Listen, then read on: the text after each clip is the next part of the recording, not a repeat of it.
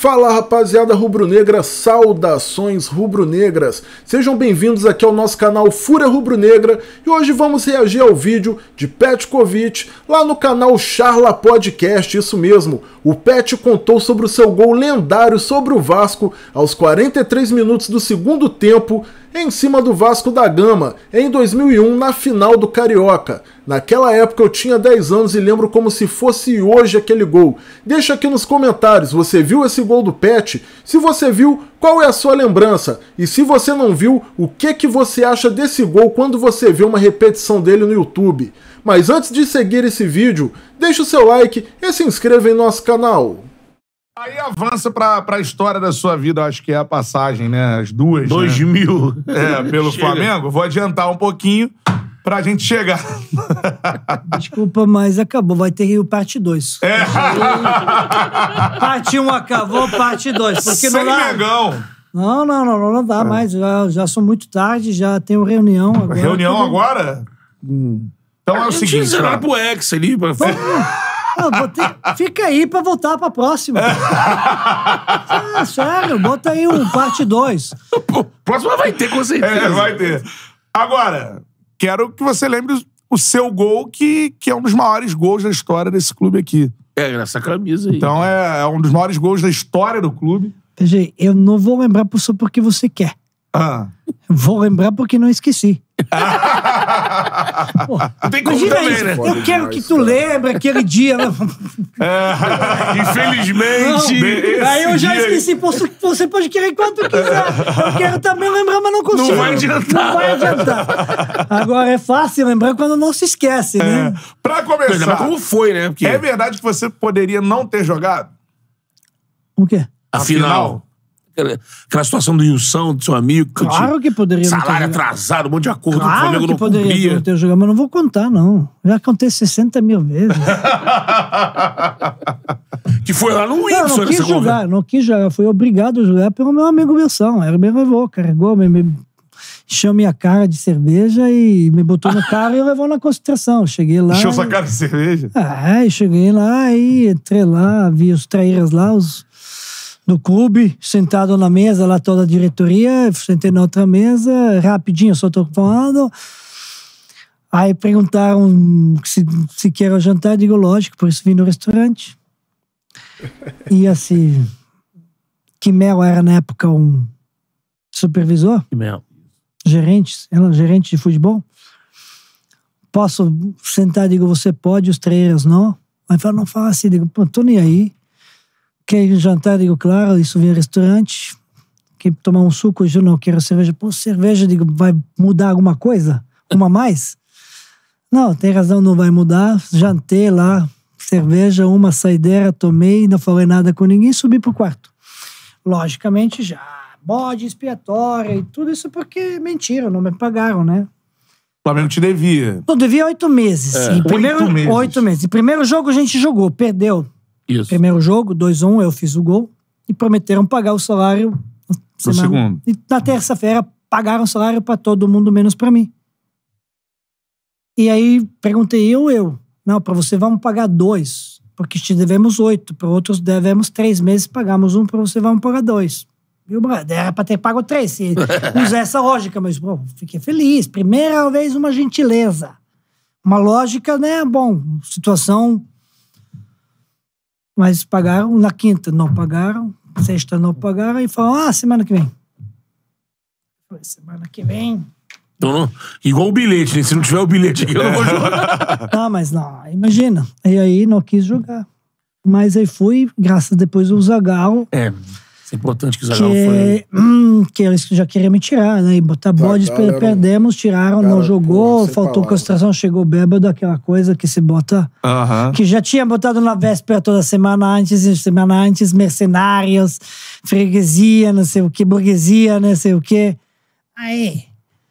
No, tá pedindo dinheiro, mercenários, tá pedindo dinheiro, né? Oito meses sem Tem receber. essas coisas, né? O cara tá atrasado, gente. funcionário. Direito do cara, velho. Aí jogamos. O Zé Galo peitou, falei pra ele o que, que aconteceu, ele não sabia isso do salário. E falou, então você quer jogar agora? Quero.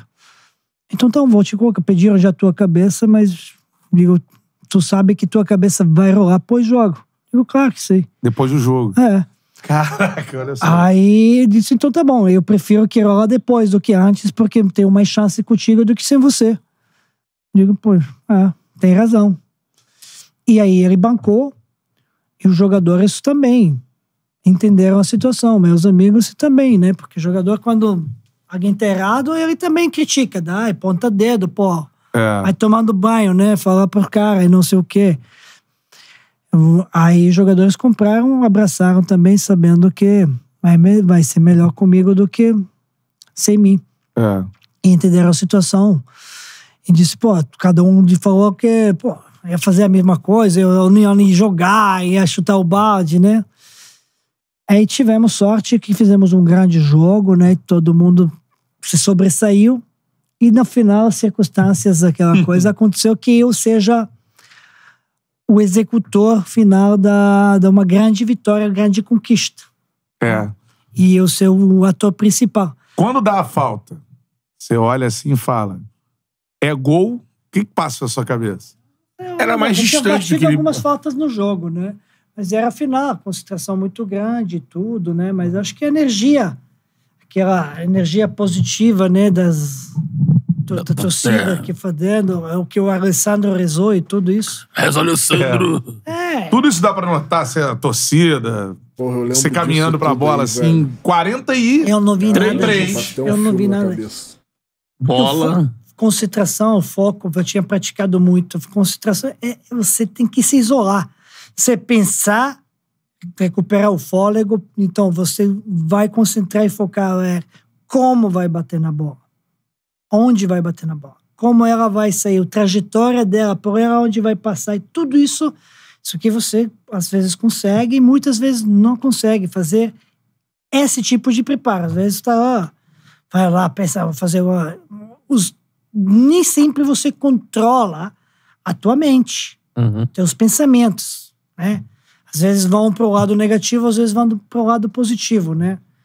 Então, eu tinha trabalhado bastante, porque o primeiro turno estava machucado, não joguei aquele jogo final contra a Fluminense quando ganhamos nos pênaltis. Tava trabalhado e minha coxa tava doendo, não podia nem bater. Então trabalhei muito foco, depois trabalhei muito concentração. Fiz um trabalho psicológico com biofeedback muito grande de tentar me concentrar e controlar meus músculos, porque quando eu estava machucado, repousado, coloca aquele aparelho de eh, eletrodos e aí medir a frequência de em microvolt de tensão muscular Uhum. onde não estava machucado, perna boa, estava 2, 3 microvolts. Essa aqui que estava machucada estava 100, 200. Caraca. E aí fiz o trabalho de concentração de anular isso. Consegui zerar a perna Caramba. direita. Essa aqui não, essa ficou no 2, 3. Porque no, eh, concentração É, o e- foco foi na era outra, e né? trabalho aí, batava, batia muita falta todo dia. Quantas que você chegou a bater? Eu não sei, não importa, mas todo dia, muitas. Muitas. E sempre fazia, quando tinha, era para parar, para bater 5, 10, 15, 20, vigésima, ou décima quinta, ou décima, era como se fosse o último minuto do jogo. Imaginando a trajetória, como vai bater. E dava certo, dava certo muito. Tanto que na hora mais importante da Pô. vida, da carreira, deu certo. A camisa 10, né? É. No dia seguinte, se não me engano, te- não sei se foi no dia seguinte, mas lembro que logo na sequência te levaram até o Zico, a casa do Zico, com a camisa 10, assistiu a Sim, Globo, não sei, TV do- Globo. não sei, mas já tinha conhecido o Zico antes. Ele já É. antes falava de, de mim, já eu, um ano antes. Aham. No começo ainda, recebi o benção. E aí- aí, quando eu recebi o benção, a preocupação era o quê? Não sujar o manto sagrado do Zico. Não, e E aí, faz não, um não, gol não. igual contra o Rogério Senna. É isso aí. Um mês depois. É. Na, Na, hora Copa dos Campeões. Na hora que a bola sai, golaço, você já pensa assim. 45 dias depois. 45 45 dias dias. depois. 27 de maio, 11 de... O Não, Pet guarda tudo. um mês e 45 dias. E é muito igual, que botar a imagem em cima da outra. 11 de julho. A batida do seu, da, do- da bola, o, o arco da bola. 25, 25, 27 de maio e 11 de julho. Só. Caramba. Quando a bola sai do seu pé, que você já pensa que é gol ali na hora. Você pega na bola, pô, Não, peguei tu- bem. tu- se tu Ele vê fica- a é, imagem, fica aqui, ó. eu tô olhando, tô olhando, tô E olhando. o Elton chegando. E quando explodiu o Maracanã, aí que perdi a noção, a cabeça, a adrenalina, né? Corri como um maluco. se jogou pra trás. Eu fiquei com dor de semana. Uma semana dolorido. Agora, agora não tem como eu não te falar isso. Vendo você falar disso, da dificuldade, do como foi, do seu olhar ali que, pô, essa bola não é. Aí você tá lá com o Eric e o Eric fala. Se o Elton tem dois centímetros, Três. lá, três centímetros. É o C. Pegou pesado. Mas não, mas não pegou. Eu falei, é, alguém, falou pegou pesado e menos mal, não sei quem falou pegou pesado, né? Eu falei, É. é, pois é, pegou pesado, porque o que eu ia falar me cortou. E era muito melhor repetir a palavra pegou pesado do que eu ia falar, né? Então, não falei, vai ficar sem falar. E é isso aí, rapaziada. Um gol lendário do Pet. Quem não viu ainda, corre aí no YouTube e procura aí. Gol de falta do Pet contra o Vasco em 2001.